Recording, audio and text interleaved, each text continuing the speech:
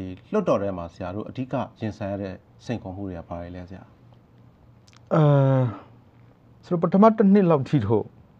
ကျွန်တော်တို့လူထုမျိုးထားသလိုပါပဲဟုတ်တင်းပါတယ်အကုန်လုံးသောလမ်းပေါက်ကိုပိတ်တယ်အဲပြည်ထောင်စုအစိုးရကအစပြည်내အစိုးရအဖွဲ့အားလုံးပြည်내လွှတ်တော်အားလုံးအာဏာပိုင်အဖွဲ့အစည်းအားလုံးဟာတသွေးတံတမိအောက်ကသွားမဲ့ပုံတံမျိုးဖြစ်အောင်ဖွဲ့စည်းတယ်အဲ့ဒီမှာလွှတ်တော်ပုံမှာကျွန်တော်တို့နည်းနည်းလေးနောက်ဆုတ်ပြီးကြည့်တော့ပေါ့ အဲ့တော့တစ်နှစ်ကြိုကြိုလောက်ကြာတဲ့အခါမှာပုံတံလေးတွေပြောင်းလာတယ်ဘာကြောင့်ပြောင်းသလဲဆိုရင်ဒီဘက်ကအသည့်တဲ့အတိုင်းအာဖရိကမှာဖြစ်လာတဲ့လှိုင်းလေးတွေတက်လာတယ်ပြည်တွင်းရေးနဲ့ပတ်သက်တဲ့တချို့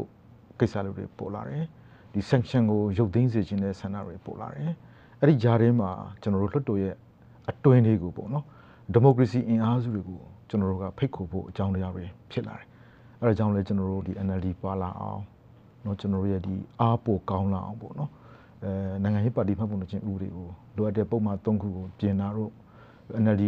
ကြားပြရွေးကောက်ပွဲကိုပွင့်လင်းမြင်သာမှုရှိအောင်ကျင်းပနိုင်တာတော့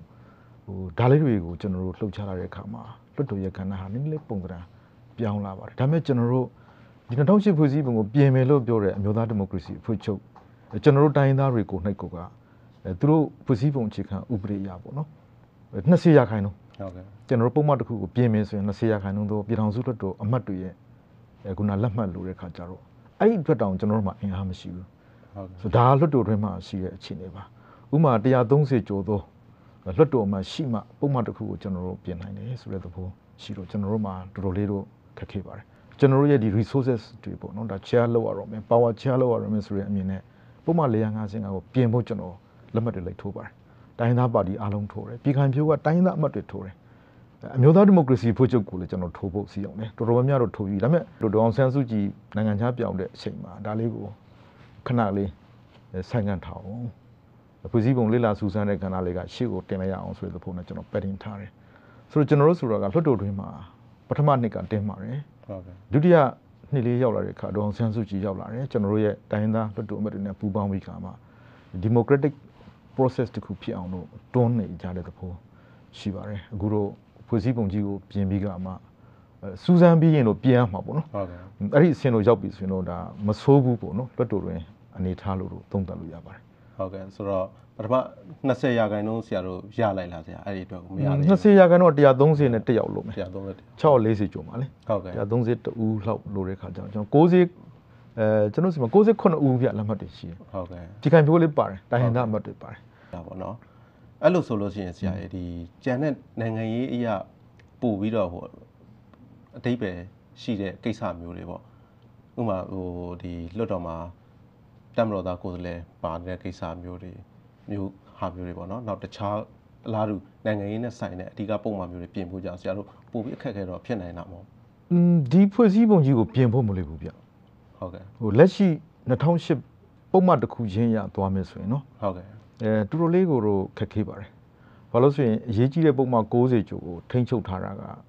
86ရာခိုင်နှုန်းနေပါလောက်ရှိတာပေါ့နော်85ပေါင်တစ်ဆိုတော့ဟုတ်ကဲ့နောက် referendum ပြန်လုပ်ရမယ်အဲ့ဒီမှာလည်းပဲမေးပေးနိုင်တဲ့လူရဲ့တဝက်ကျော်ဟိုအင်မတန်တော့ဟိုထိန်းချုပ်ထားပါတယ်ဒါပေမဲ့ဒီဟာကြီးကိုပြင်လို့မရဘူးဆိုတာမျိုးကျွန်တော်တို့လက်မခံဘူးကျွန်တော်တို့ပြင်နိုင်ရမယ်အဲ့တော့ကျွန်တော်တို့မှန်းတာကဒီလာမယ့်နှစ်နှစ်ခွေသောကာလလက်ရှိ9နှစ်ကာလရဲ့ လက်ကျန်ကာလမှာကျွန်တော်တို့အရေးကြီးတဲ့ဟာတွေကိုပြင်နိုင်ရမယ်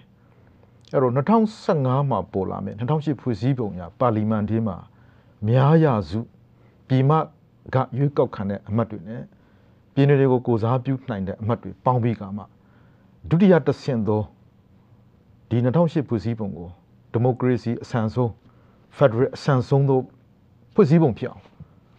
ပြည့်ပြည့်စုံစုံပြင်နိုင်ရမယ့်ကာလဟာဒုတိယ2008ဖွဲ့စည်းပုံရဒုတိယသက်တမ်းပေါ့ 2015နဲ့2020ကြားလို့မှန်ပါတယ်ဒါကတော့ဘယ်လိုပြောမလဲဒါဒါဟိုလက်တွေ့ဆန်ဆန်လေးကျွန်တော်တို့ဟိုတခြားဘာပယောဂမှမပါပေးနဲ့ဟုတ်ကဲ့ပွင့်လည်းမြင်သွေးထွက်တန်ရမှုလေးမပါပေးနဲ့ဟုတ်ကဲ့အဲအင်မတန်ကိုမှတင်းမာတဲ့ခစ်တစ်ခုကနေဖွဲ့စည်းပုံရှိသောလက်ကန်ရှိသောကျွန်တော်တို့ရဲ့ဒါအုပ်ချုပ်မှုပုံစံတစ်ခုနဲ့အဲကျွန်တော်တို့လိုချင်တဲ့ခစ်တစ်ခုကိုပြောင်းတဲ့ ဟိုလမ်းကြောင်းပေါ့စဉ်းစားစရာအချက်လေးတစ်ခုပေါ်တဲ့ခါကျတော့ဒါကြီးကိုထည့်သွင်းစဉ်းစားတင်တယ်လို့ကျွန်တော်မှားပြီးခံပါလေနှစ်ဆင့်သွားဆိုရင်ပို့ပြီးညညညုံမလားပြည်တော်စုအတွက်ဟိုခုန moderate သဘောနဲ့ဆောင်းမှားဆိုတဲ့သဘောပါဟုတ်ကဲ့